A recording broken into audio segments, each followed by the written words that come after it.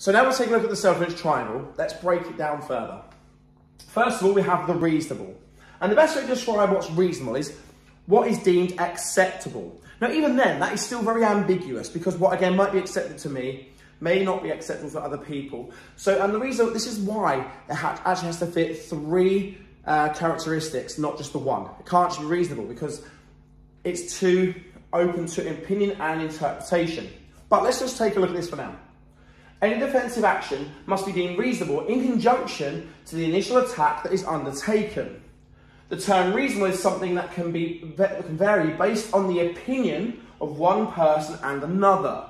Okay, so what I might think is reasonable, you may not. Taking it a stage further, one person may feel it is reasonable to resort to physical violence when an item is stolen, whereas another may not. Okay, so let's say um, someone has just stolen your car keys. You may think it's totally reasonable to punch them. Other people around you may not. Okay, but to you that was still very reasonable. Does that mean that how you're feeling is wrong? Well, no, if you felt that was reasonable in your head, you've rationalized that and you've said that it's correct. Okay, now that's not for me to say whether or not it is correct or not, but in your head, you've justified it. You've said that you're saying it's acceptable to do that action because of what they did. Okay, so it's really important we consider that. Now we need to go to the next stage. Okay, because this is why reasonable on its own cannot be the only defining feature of self-defense and the rules that govern it.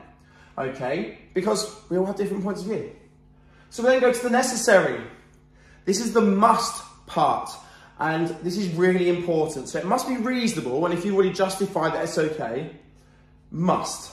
Any defensive action must be deemed necessary in conjunction to the initial attack that is undertaken. Okay? This means um, that um, it must happen and there is no alternative option at the time of the initial attack. So it must happen. You, you, you've justified it, it's reasonable you do it, but must it happen? Must you do that?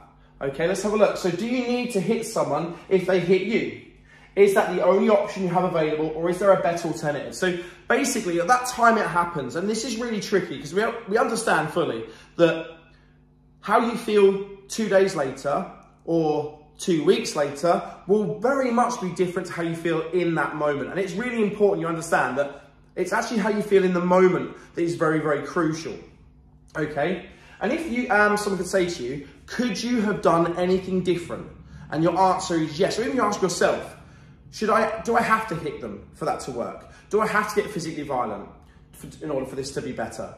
If the answer is no, then you shouldn't be doing it. Okay, so whilst your, re, your rationale, your reasonable thought justified what you were going to do to hit that person, you also then say, but do I have to? And your answer, if your answer is no, you shouldn't be doing it. And that's one of the key reasons why reasonable uh, force, reasonable on its own, is not enough to define whether or not you should be doing it.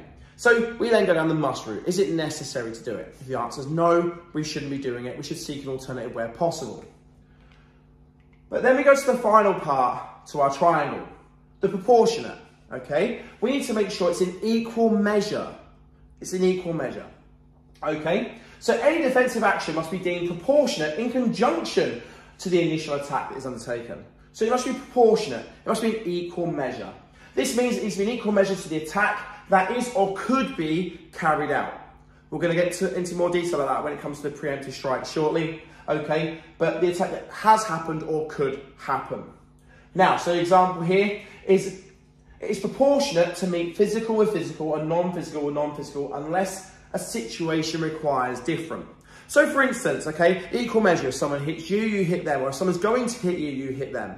If someone's calling you names or being um, verbally aggressive, that you, in equal measure, could be verbally aggressive too, okay? So that's an equal measure. If someone calls you a name, okay, it's not equal measure to hit them. Okay, that's unequal. Okay, so that's not proportionate at all. Okay, there was no need. So that comes back to that necessary thing again. Because even then, meeting physical with physical violence, okay, if you don't have to, it's not necessary, you shouldn't do it, okay? Because there is a better option, okay? So we still need to make sure, even with a proportionate, okay, like for like, weighed in balance, however you want to put it, it still needs to be reasonable and necessary, okay?